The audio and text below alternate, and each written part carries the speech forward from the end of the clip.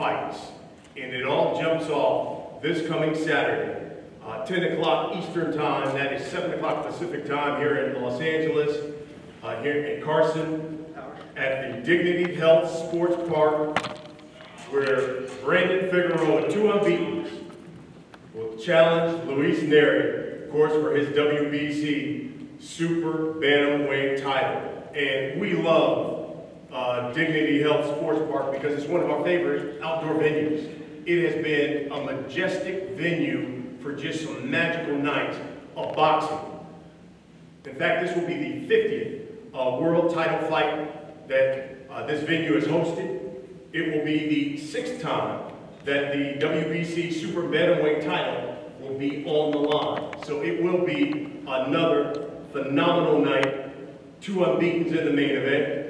The co-main, you've got the former unified champion, Danny Roman, uh, taking on the hard-hitting Ricardo Espinoza. And then we'll begin the night, 10-round fight, as the unbeaten Xavier Martinez takes on Juan Carlos Burgos, who of course has fought for the world title three times uh, in his career. It will be a really special night. We're going to talk to the fighters uh, about their fights. We're going to allow members of the media uh, to ask questions. And for those uh, who are watching on Zoom, all you have to do is hit the uh, raise your hand uh, icon there, and our Chris de Blasio will acknowledge you and we'll let you answer, ask questions, and the fighters will answer those as well. let's start, though, with the first fight of the night, because you'll have Xavier Martinez, 16 0. He's got 11 knockouts uh, taking on Juan Carlos Burgos, 34, 4, and 2. He's got 21 uh, knockouts. And uh, Xavier, you know, you went down twice. Uh, the last time we saw you fight uh, against Claudio Marrero, what did you learn, I guess, from that fight that we will see growth in this fight coming Saturday? No, you're going to see know, stay uh, composed on fight. You know, I think, um, you know, I also in that fight very um, sizable. I think um, I got a little too overconfident, and you know, I also I fell asleep, and um, you know, being the experienced fighter I was, you know, he caught me quickly, and uh, that you know, I down. So I learned from that. I'm take it to this fight, and um, you know, I'm gonna stay composed the time. One, you know, although you know, you fight really on just a couple of weeks' notice. You know, I read somewhere where you said you don't know if Xavier has a strong chin. What do you believe is your biggest advantage going into this fight? Bueno, Juan, eh, aquí se trata de que tuviste muy poco aviso para esta pelea, apenas un par de semanas, pero también dijiste que tu oponente no tiene un mentón duro. ¿Cómo te sentís de cara a este nuevo desafío? Buenas tardes a todos. Eh, sí, realmente nos echaron eh, con poco tiempo de anticipación para esta pelea, pero la red porque he estado entrenando constantemente desde, desde enero, voy a pelear el 27 de febrero en Tijuana, eh, no se dio la pelea, después nos dimos una pelea para el 1 de mayo, tampoco se dio, y estoy activo en el gimnasio. Uh, well, you know, the fight was a short notice, but it didn't affect me at all because I would have been training since January, really. I was going to fight in Tijuana on February 27th. That didn't happen. I was going to fight in early May. That didn't happen. So even though the fight was a short notice, I am plenty ready to go on Saturday. Well, Martine Bader giving us the translation. Uh, Juan, tell me what you, you think about uh, Xavier as a fighter? I was, I was reading where you said, you know, looking at his last fight, maybe he doesn't have a strong chin. ¿Qué opinas de Xavier como oponente, ya que como mencionabas anteriormente, lo de que no tiene un pistón duro, ¿cómo lo ves como rival?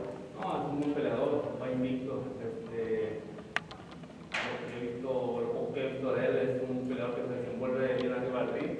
Vengo bien preparado,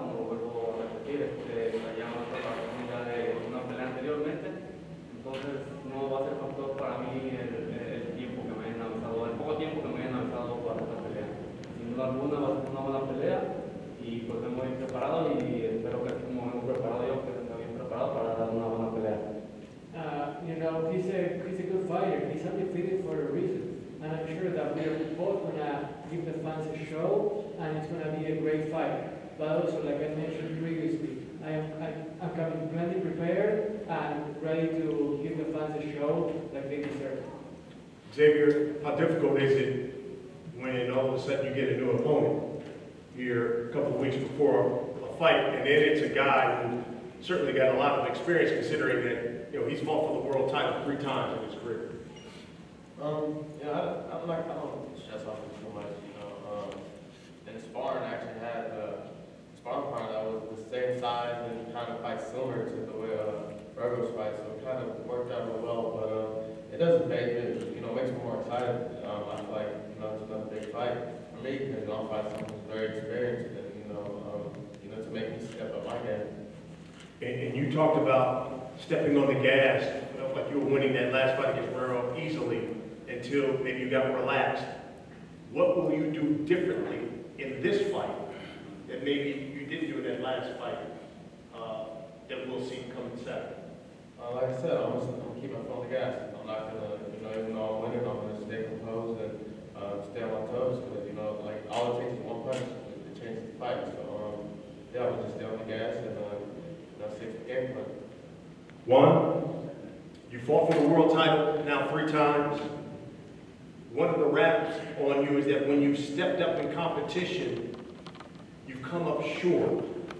Why will it be different this coming Saturday? Bueno, Juan, has peleado por el título mundial en tres ocasiones y tu reputación es que cuando estás afrontando desafíos muy grandes te quedas corto. ¿Qué, te- qué tienes que decir sobre eso? Bueno, lo que pues mucha gente, ¿no? afortunadamente no se me ha dado eh, ganar el título. Lo gané contra Rocky Martínez, desafortunadamente esa noche los jueces vieron otra cosa. Esa noche me robaron el, el, el, el- el campeonato. Pero estoy listo, estoy de regreso, estoy en mi mejor versión y creo que la noche del sábado lo voy a demostrar. There is a, a reputation where, yes, I have come up short, but against Rocky Martinez, for example, I feel like I won the title, and the judges just robbed it from me. So I am more than ready to redeem myself and show what people will capable of this Fantastic. That will be the first fight uh, that you will see on the night. And then we go to the co-main. And again, you talk about the 122-pound division. Uh, the former unified champion, the baby-faced assassin himself, Danny Roman, uh, taking on the hard-hitting Ricardo Espinoza. Uh, Ricardo, you know, obviously, you know, Danny was going to have the experience uh, over you, but do you believe your power will be the difference in this fight? Ricardo, eh, bueno, el factor de experiencia claramente a favor de Dani, pero ¿cuál es tu ventaja en esta pelea? Bueno, claramente Daniel pues tuvo compromisos o, peleas pues más pues de mayor importancia, de mejor ranking. Pues yo realmente pues me siento un peleador pues que, que está listo para, para ese tipo de, de encuentros. La verdad yo siempre había querido pelear pues con alguien pues que, que me que me que me haga ver de que estoy listo. Así que pues de hecho yo estoy listo para esta pelea. Yo sé que, que es mi momento, yo sé que, que voy a demostrar muchas cosas el sábado. Um, Daniel, yeah, he has fought some really quality opponents high in the rankings, but this is my time. This is when I can show that I can step up in competition and prove that I belong with the best. Danny, uh, listen, it's been a lot of talk about Luis Nery. It's been a lot of talk about Brandon Figueroa.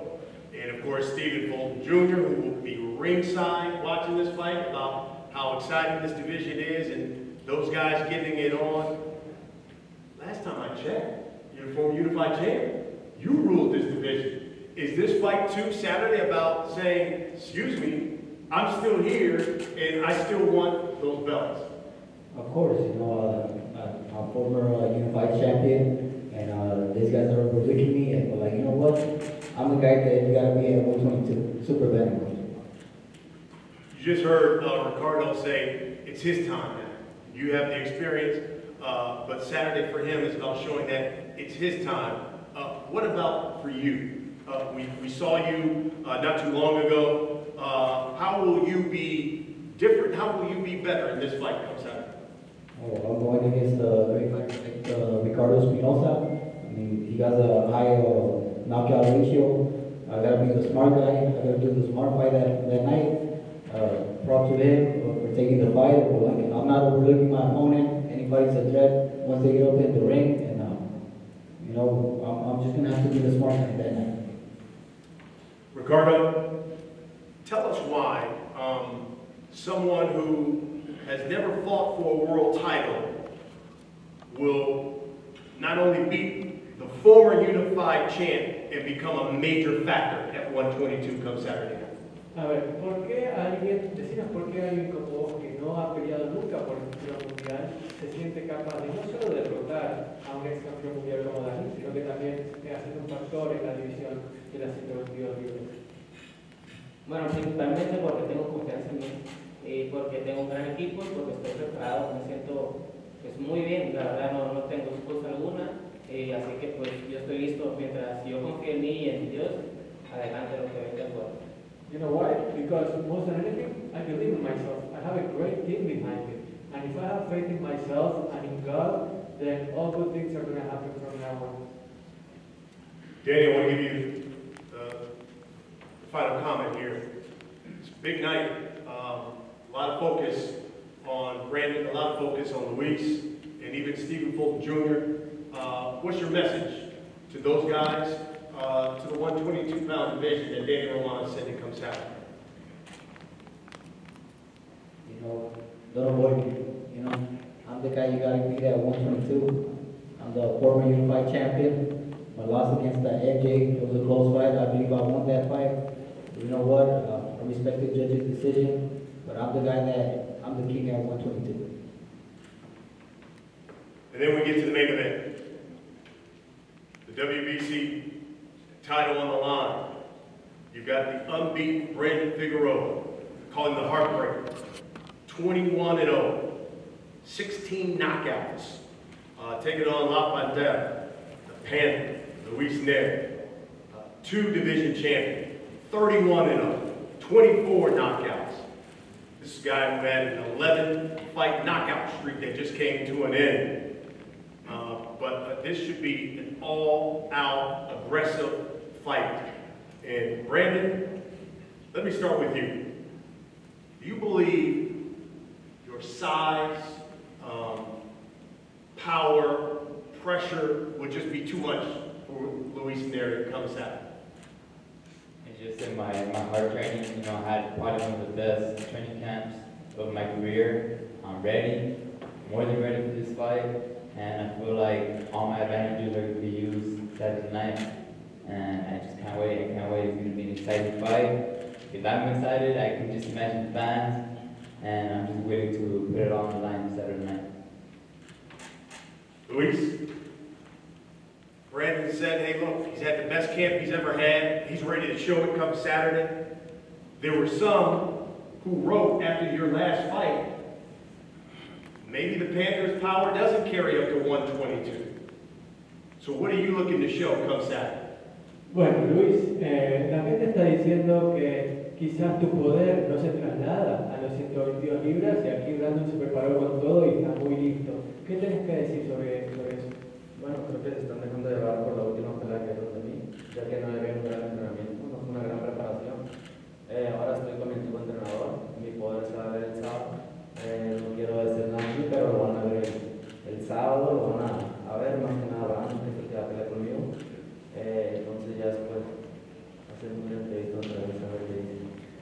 Well, you know, well, I think that you guys are getting carried away just by the last fight that I had where, you know, I wasn't fully prepared, I hadn't trained as well as I wanted to. But you know what? You're going to see that that power does translate. Brandon is going to be the first one to know it when I step in the ring with him. And then, after I show that, we can do this interview again and you can let me know what you think. Luis, you said, and I'm quoting you, I have a lot of respect for Brandon, but inside the ring, I'm going to be the rudest person he's ever met. What do you mean by that? Que cuando, que, ¿qué quisiste decir con eso? De que ibas a ser la, la persona más irrespetuosa con Brandon cuando entres al ring. Bueno, realmente no, puedo, no puede ser mi amigo, ¿verdad? Este, es una pelea eh, muy importante tanto como para él como para mí. Es una, es unificación. Eh, es mi peor amigo una vez que arriba del. Abajo puede ser hasta mi amigo, pero arriba no lo conozco, entonces voy a dar lo mejor de mí. No vine aquí a perder, no vine aquí, no hice toda mi preparación para venir a perder. Sé que tengo un rival duro lo he mirado, pero tengo cualidades, tengo todo para seguir con la mano del sábado. Sea lo que me arriesgo, pero estoy. Well, what do you mean by being rude? We can be friends on the ring, right? I mean, outside the ring, I'm sure he's a nice guy. We can be friends, but on the ring, I am not gonna have any warm feelings towards anybody. This is a potential unification fight. Everything is on the line. So I just have to prove what I'm capable of inside the ring and not care about what anybody else thinks when it's time to win. Brandon, when you heard Luis say Saturday night, you're gonna feel the power that everyone's been talking about with this guy. Talk to us about that and what do you think Luis is going to learn Saturday night about Brandon Figueroa? I mean, he's gonna know a lot of things, you know. Uh, my size definitely. I feel like he hasn't fought a, a you know, guy this big, this strong. I feel like Saturday night he's gonna find out too. You know, I, I trained, you know, tremendously for this fight. I have best conditioning. I feel like you know, 122 pound division. You know, my volume, volume punch output, you know, speaks for itself. And I feel like, you know, a lot of people underestimate me, but I feel like Saturday night they won't, you know. Once the bell rings, it's go time, and, and I come fight. I come 100%, and I'm coming, I come, especially I come to win, I come to take that belt home. You know, at this weight division, they talk a lot about uh, Akhmadaliev, you know, obviously Cool Boy Steph, uh, even there because of his power. Um, do you believe when you talk about the elite fighters at 122, are they sleeping on Brandon Figueroa? And is Saturday your way of proving that you are the man at 122? I mean, yes, of course, you know, this game is, is all about proving yourself in and out of the ring. And I feel like, you know, my hard work speaks for itself. My fight speaks for themselves. And I'm just glad I get to share the ring with Luis You know, both, I know he comes to win as well, but I, I don't think he wants it as bad as I do. And of course, you know, if God willing goes my way, Stephen Fulton is next. That's a fight that I've been wanting for a long time. And I mean, signing unify, you know, this is this is what you know. You don't come to boxing to conquer, and what are you boxing for? You know, this is what I'm about. Come to fight, come to give fans a great show, and I just can't wait Saturday night. We'll wrap it up with this with you guys. I got the opportunity to speak with Stephen Fulton Jr., who's you know coming for the fight. Luis, he said if he gets the opportunity to fight you, he can't wait to show you that you're too small and not as powerful uh, as you think you are for this division. Uh, your reply to Cool Boy Steph.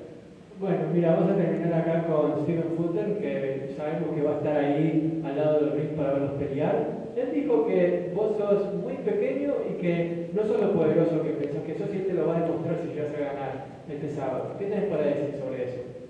Bueno, yo me concentro primero en lo que tengo enfrente, que es Brandon Figueroa. Eh, una vez que salgamos el sábado con un alto, veamos qué, qué dice los promotores también, para ver cuándo se hace la pelea y una vez que se haga esa pelea, bajando del ring le preguntan lo mismo a si piensa lo mismo que él. Well, you know what? First of all, I'm focusing on what I have in front of me right now. That's Brandon Figueroa. And then we'll check with the promoters to see when they want to do the fight.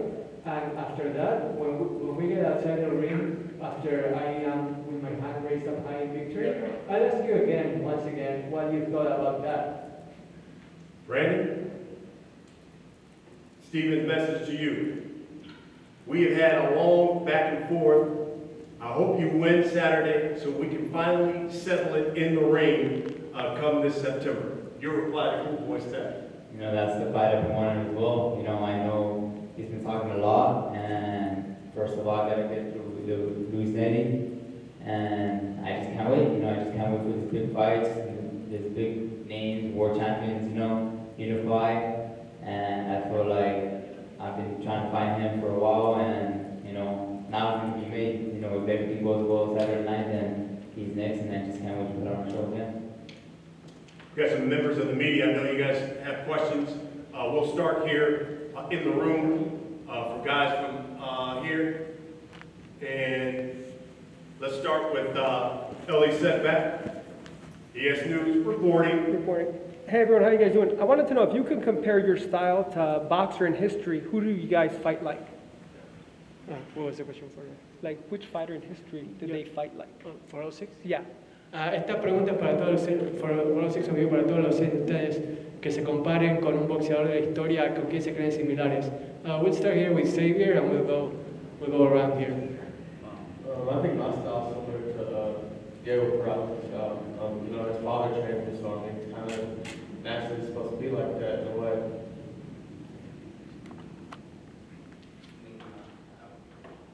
I don't know who fighter uh, to compare myself with, but like, I get a little bit of everybody, so. Ah, Luis, un boxeador historia con el que te compares, que te guste imitar. No es como quererme comparar, pero tengo un estilo similar al de Manny Uh, not that I want to compare or say that I want to imitate him, but I feel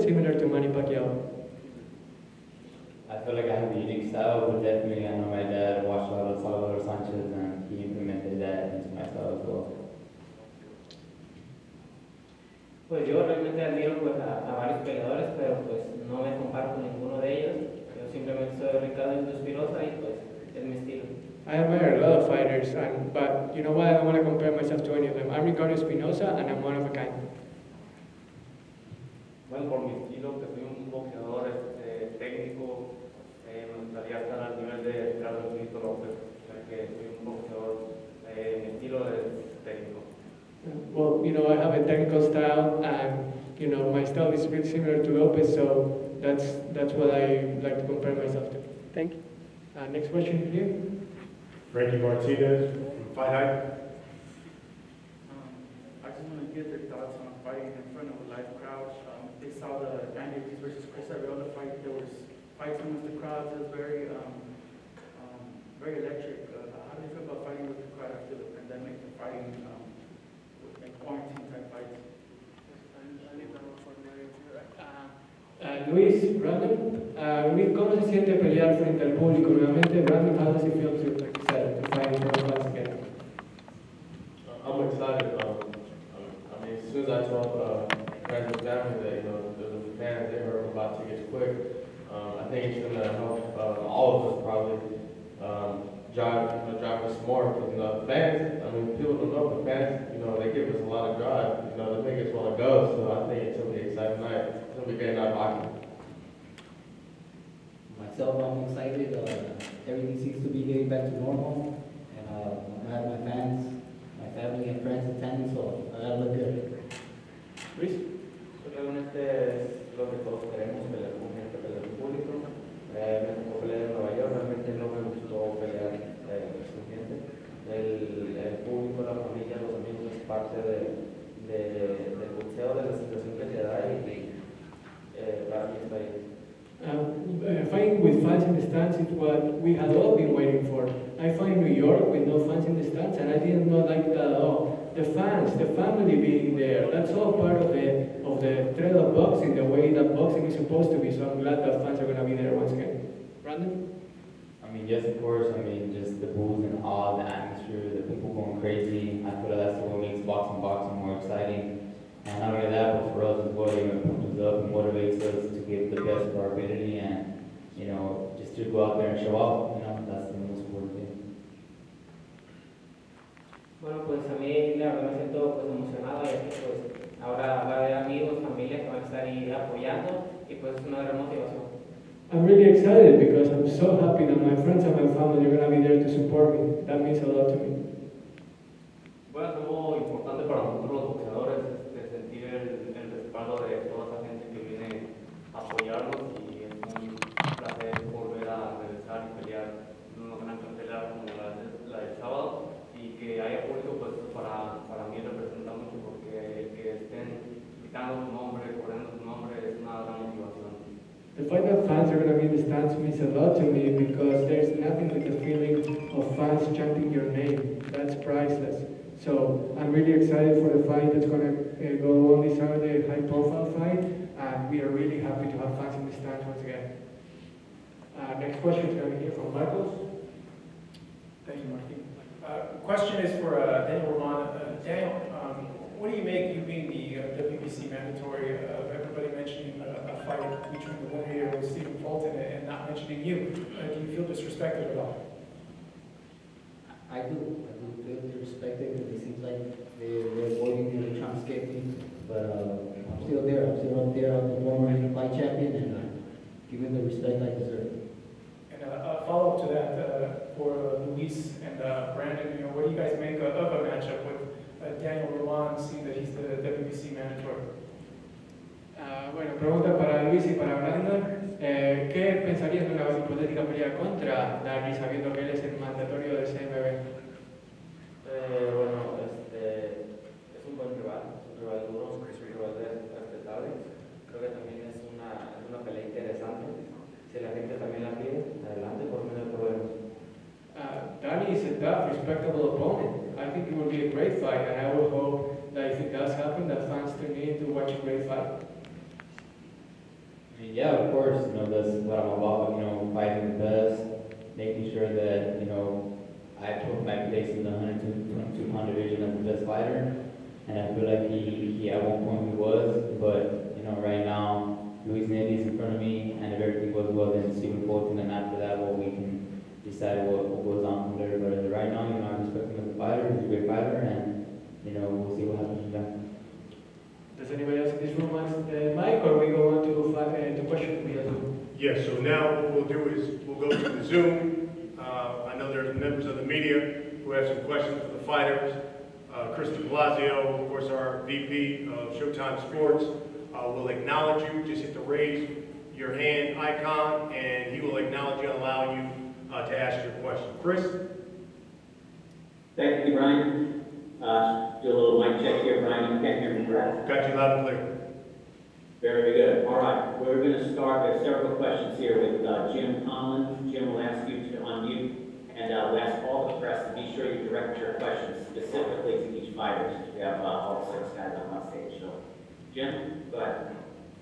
Uh, I, my question is for Lewis. Uh, Lewis, uh, a fantastic record there, uh, 34 unbeaten. For you, in terms of legacy, do you think at this stage car- your career you need that type of Erik Morales, Marco Antonio, Barrera type fight, type trilogy, maybe to catapult you uh, to that legacy sort of status that all fighters dream of?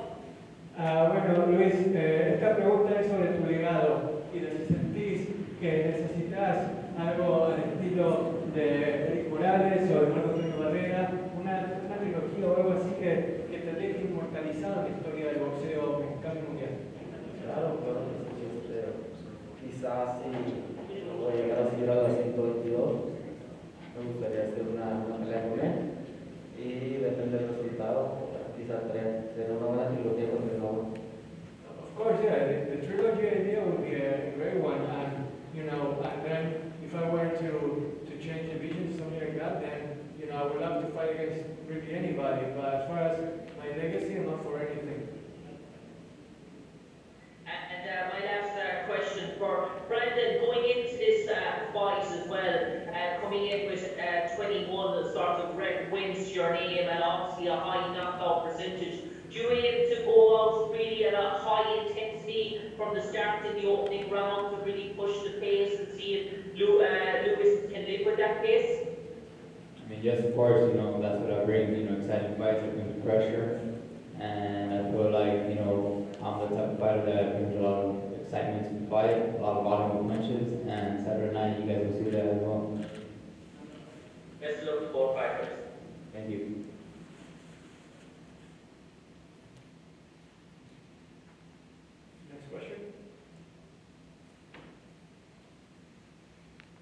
Next question, Chris? Uh, yes, we are going